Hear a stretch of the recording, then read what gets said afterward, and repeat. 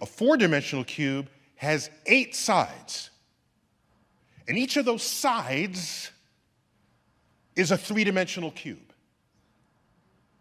And you can take this all the way up. And our brains can't picture what we call a hypercube, in some circles, a tesseract. We can't picture a volume bounded by three dimensional cubes. What does it even mean? This is because we evolved in the plains of Africa, just not wanting to get eaten by a lion.